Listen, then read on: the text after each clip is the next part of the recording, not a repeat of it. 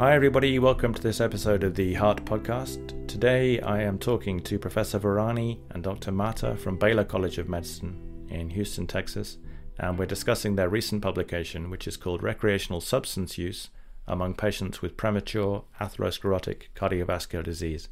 We have a really interesting discussion about the impact of these substances on premature cardiovascular disease, which also includes stroke and PVD, and what we might do about it. I hope you enjoy the show.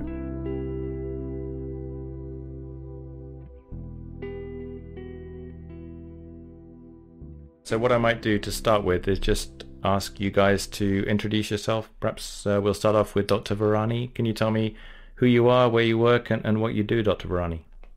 Sure. So I'm Salim Virani. I'm a professor of medicine uh, in the sections of cardiovascular research at Baylor College of Medicine in Houston, Texas. At the same time, I am a staff cardiologist at the Michael E. DeBakey Veterans Affairs Medical Center, again based in Houston, Texas. And my area of interest is cardiovascular disease prevention, both primary and secondary. And Dr. Mahtta, would you like to introduce yourself for the uh, Heart Podcast audience, please? Absolutely. So my name is Dhruv Mahtta. I'm a first year uh, cardiology fellow here at Baylor College of Medicine in Houston, Texas. Uh, prior to my uh, clinical fellowship, I did a one year of outcomes uh, health research fellowship. And my interests are in uh, outcomes research pertaining to premature atherosclerotic cardiovascular disease, as well as interventional cardiology. Great. And you guys have recently written a original research paper uh, in Heart, which is called Recreational Substance Use Amongst Patients with Premature Atherosclerotic Cardiovascular Disease. And I really wanted to get you both on the podcast to, to talk about this work. Maybe we can start off, Dr. Virani, by you telling us about some background to the study um, in terms of recreational use, uh, drug use. How common is this, and uh, what kind of impacts does it have on the cardiovascular system? What do, you, what do we know about this going into this study? Yeah, so first of all, uh, thanks, Dr. Rudd, for uh, having actually both me and Dr. Mahtta on this uh, podcast. Uh, so thank you. Uh, we think it's an important topic. Of course, that's the reason we worked on it. And, and the reason we picked this up, now the association between recreational substance use and uh, atherosclerotic cardiovascular disease is well known. The reason we actually looked at this again was for various reasons. Number one, that we wanted to assess the association between uh, recreational substance use and premature cardiovascular disease in young people because that's the area that we're very interested in. As dr Mahtta said that that's the area where he's really done quite a bit of work uh, from this particular registry uh, that we use for these analyses as well. That's number one. The second is that when we talk about cardiovascular disease, we talk about cardiovascular disease as not just heart disease. So we also talk about ischemic cerebrovascular disease. We also look at ischemic peripheral arterial disease. So it's not just ischemic heart disease. That was the second reason we wanted to look at the continuum of risk across all the domains of cardiovascular disease. And then the third aspect was we wanted to see because young people when they're using one substance they're not just using one substance. Generally they end up using a lot of substances. So is there a what is the interaction in terms of uh, you know when you when you use multiple drugs is the risk additive? That's the other thing that we wanted to look at. Now you know you talked about what is the population level impact. I think these are right times to be talking about it. Uh, I don't know about other countries, but in US, we know that because of the COVID-19 pandemic, substance abuse has increased tremendously as it does with any pandemic. Even the past pandemics the same thing has happened. If you look at mental health that has deteriorated quite significantly and as a result of that substance abuse has gone up. So if we look at the data actually up to the june of 2020 uh, the age group where the most increase in substance abuse was seen was actually the young people. So it has tremendous public health significance as well, especially in the middle of this pandemic. And those were some of the reasons that we started out looking at this particular topic. Uh, and and you know that's that's really why we pursued this particular analysis. And is it right to say you weren't just interested in the acute effects of some of these recreational drugs. So we, many of us as cardiologists will be familiar with cocaine abuse and, and you know acute myocardial infarction. You're interested really in the sort of chronic effects on the heart. Is that right? That is correct. Uh, that we are more interested in the long-term effects of these, and and you very rightly pointed out. You know, you look at cocaine. Even there's data with amphetamines, especially synthetic amphetamines, that blood pressure can have a lot of variability uh, with acute use of it. Uh, but we are more interested in these chronic long-term habits uh, and working with a data set that is quite rich in terms of availability of variables and very uh, uh, complete data set, we were able to actually ascertain those things. So exactly right. And Dr. Mahtta, what was your hypothesis uh, going into this work?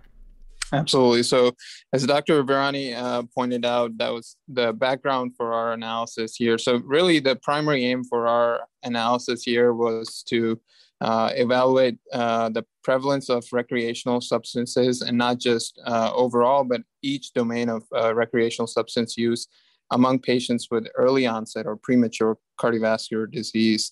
And um, with cardiovascular disease, we looked at each domain of cardiovascular disease, ischemic cerebrovascular disease, ischemic heart disease, as well as peripheral vascular disease.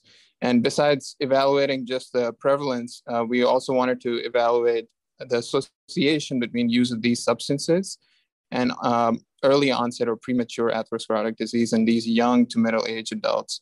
So our, our big hypotheses were that we hypothesized that there to be a positive association between uh, each domain of recreational drug use and premature atherosclerotic cardiovascular disease. And, and we hypothesized that this association would be independent of, of, of the traditional cardiometabolic risk factors such as diabetes and, and uh, hypertension and dyslipidemia. Um, and we also hypothesized that, um, as Dr. Virani pointed out, we wanted to look at the uh, dose response or graded, um, if there is a graded response. So we hypothesized that uh, that there may exist a graded response in the number of substances that are being used and um, the magnitude of risk uh, of premature ASCVD. So those were the main uh, big uh, hypotheses that we uh, looked at before before starting our analysis. And what methods did you guys use to address this hypothesis? You mentioned a, a database. Uh, what population did you study, Professor Virani? Sure thing. So we had uh, we have this registry that actually Dr. Mahtta uh, played a very key role in developing during his uh, uh, one year of health outcomes research that he did with us uh, and we call it the Vital Registry, Veterans with Premature Cardiovascular Disease. So if you look at the entire VA healthcare system, which is one of the largest healthcare systems in US, uh, and one of the very early ones to have a, a very uh, uh strong electronic medical record system, uh, in that entire VA system, we have about 1.2 to 1.3 million patients with cardiovascular disease. Out of that, we developed a registry of premature cardiovascular disease, which is the VITAL registry. Uh, that's about uh, 140, 145,000 patients. So these are men who've had any form of cardiovascular disease before the age of 55 or women with premature cardiovascular disease before the age of 65. Now, these are the definitions that are accepted by both American and European guidelines in terms of defining premature uh, atherosclerotic cardiovascular disease. So that's the definition we used, and we had approximately 135, 136,000 patients for this particular analysis. Uh, which were premature. And then we had 1.1, 1.15 million patients who were non premature cardiovascular disease. So those were the two groups that we compared.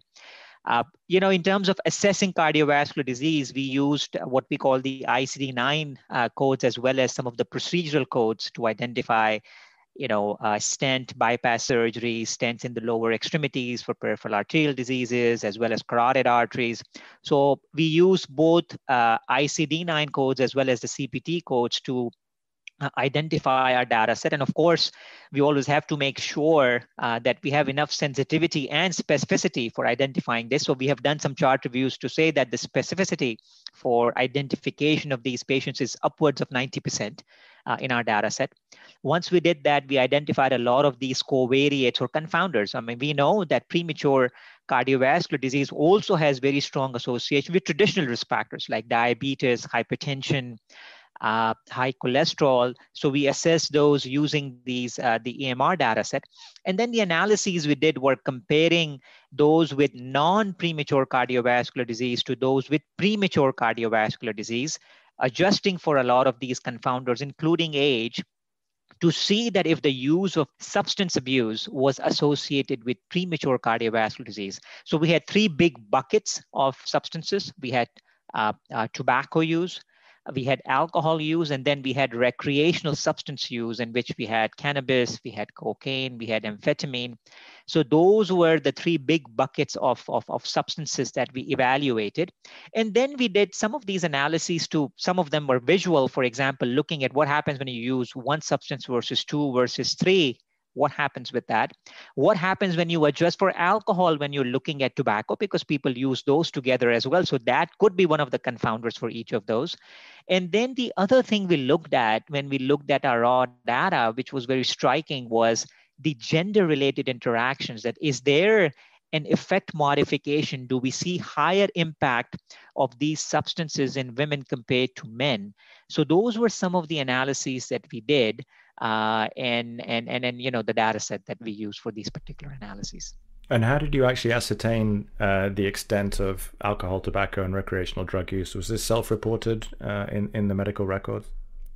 So this could be both self-reported as well as ascertained by a, a clinician who's entering data. This was done using uh, the ICD-9 codes for each of these tobacco, okay. alcohol, and each of the substances. So now it could be that the patient mentioned it to the clinician and that's why they captured it, or it could be that the clinician had a suspicion to measure it uh, using maybe a urine drug screening test or something, and then entering an ICD-9 code pertaining to that particular substance. Perfect. And Dr. Mahtta, how would you um, describe the main findings of the study? Do you want to go ahead and give us some of the, the top level uh, results?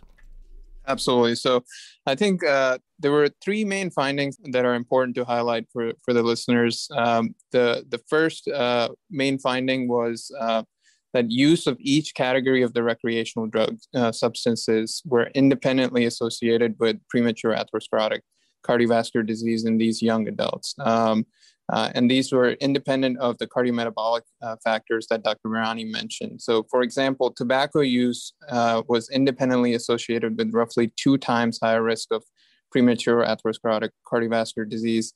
Alcohol use was roughly associated with uh, um, one and a half times higher risk.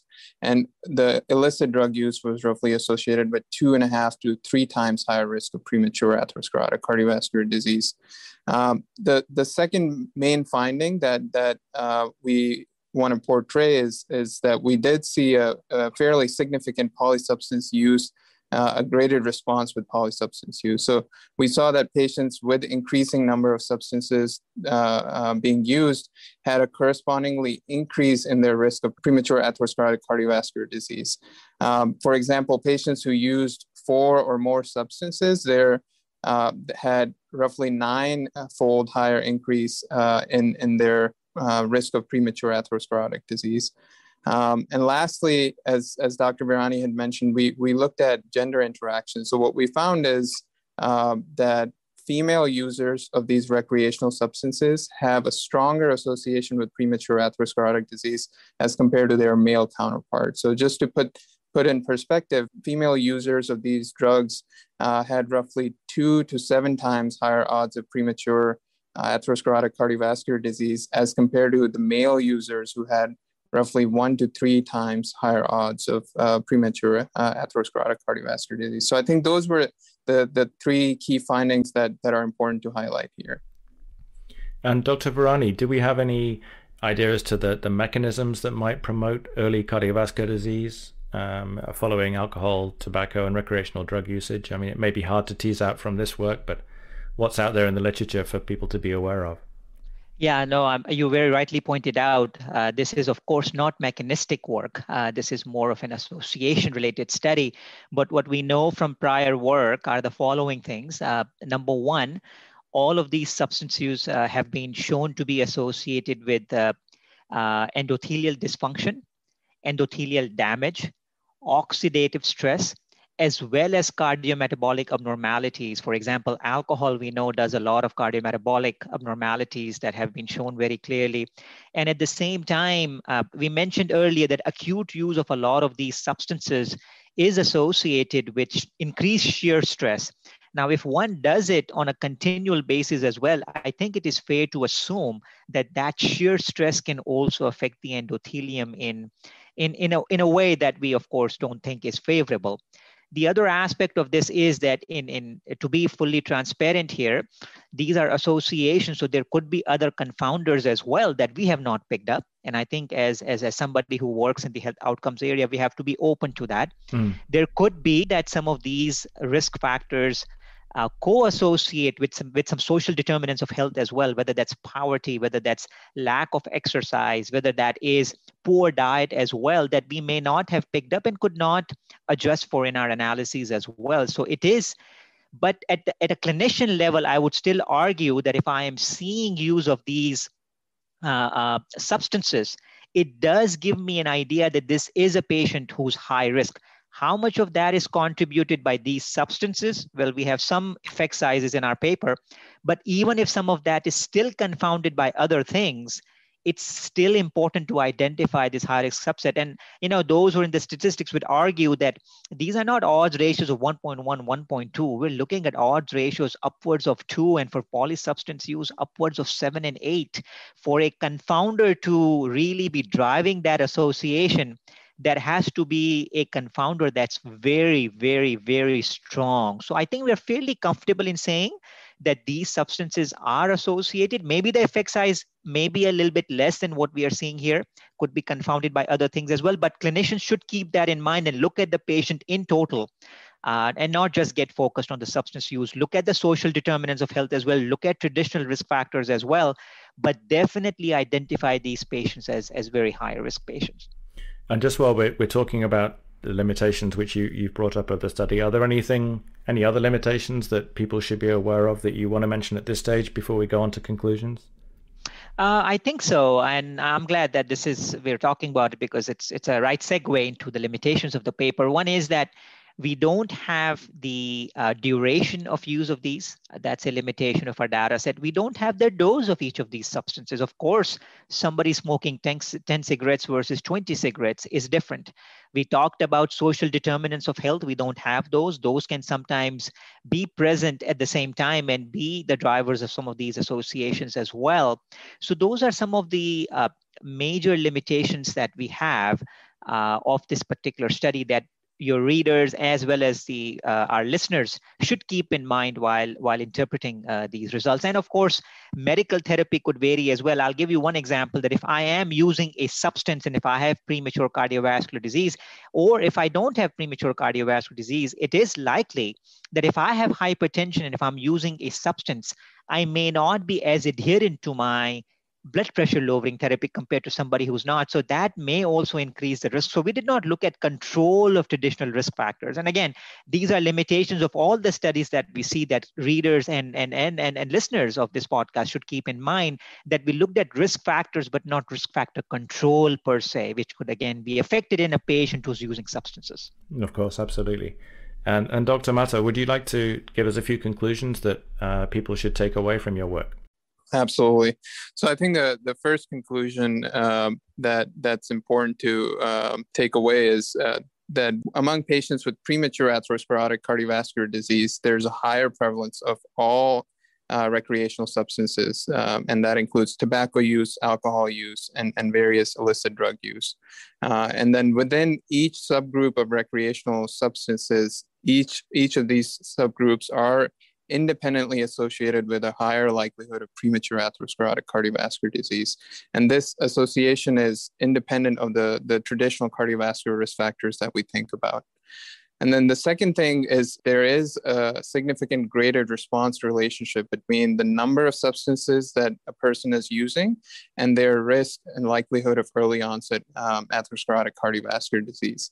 Um, and we had even looked at this graded response uh, um, after adjusting for concomitant alcohol and tobacco use. And even after that adjustment, we see there is a greater response uh, relationship between the number of substances used as well as um, the risk of uh, early onset atherosclerotic cardiovascular disease.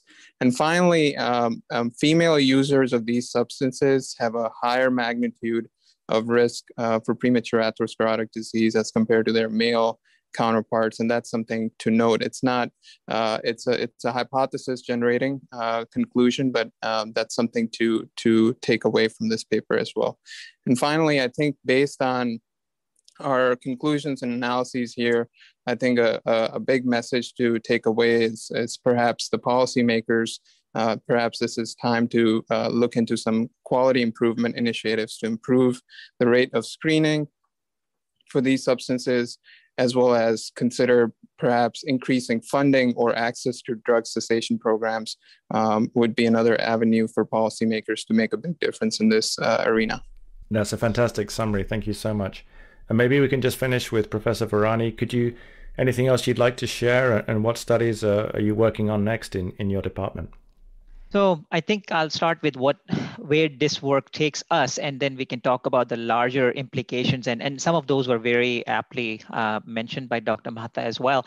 I think the question is, yes, we've identified a problem, but you know, we all work in large healthcare systems. I do personally identifying risk is one thing. What do we do with that is i think a, a more important question.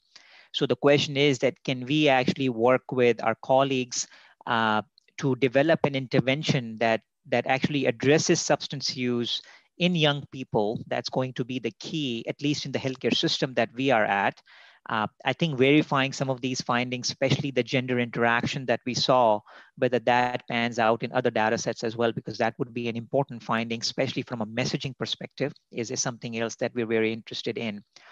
And then I think what are some of the other things that clinicians should keep in mind? I think this paper is timely in terms of the current pandemic we have. Uh, you know, we mentioned earlier about substance use. It's on the rise, and I think it's fair to say it's not just a US phenomena, it's probably everywhere. Right. So clinicians should be very mindful of this when they're evaluating their patients. And when you see one substance, do ask about another substance because as we see, it's a very graded association. Uh, so be very mindful of that when you're looking at your patients who are presenting with heart attacks or strokes or having PAD that you cannot explain uh, using traditional risk factors. But in young people, definitely it's always a good thing to uh, to, to measure for these substances because then that opens up a discussion line where you can understand why they are using substances, and if that may also impact other therapies that we're giving to our patients, especially in terms of adherence to those therapies. So, those are some messages that I have for our clinicians that they may want to be more mindful of this. This is out there, this is known, but just bringing it back to uh, uh, to the front in terms of that we should be very mindful of these things. And then, of course, we talked about interventions and these interventions, just talking to the patients, yeah, you should stop substance use, is probably not going to work. I think a lot of healthcare systems have a lot of uh, help available with counselors. Leveraging those counselors is going to be very important. Understanding that this is team based care that's going to be required for this, and being very mindful of what our patients are going through, especially these young patients there's COVID everywhere right now. A lot of them have lost their jobs as well. They have families to take care of, both their kids, their parents who may also be suffering from COVID and their devastation. They may actually have a family member that they have lost in this pandemic. So, keeping that in mind, taking a very broad approach to this topic will be very, very helpful when we all, as clinicians, evaluate these patients. Perfect. That's a brilliant. Uh summary, and it's been a real pleasure and a privilege to talk to you, Professor Virani and Dr. Mahtta. And I will make the uh, paper uh, free for everybody to read for the next few weeks after the podcast comes out. And also, a very nice editorial was written uh, about the paper with some lovely uh, Venn diagram, which really, I think, summarizes the main points that you've uh, so eloquently made. So uh, that'll also be available to everybody to read. thank you very much for joining me. Thanks for your time. Thank you so much.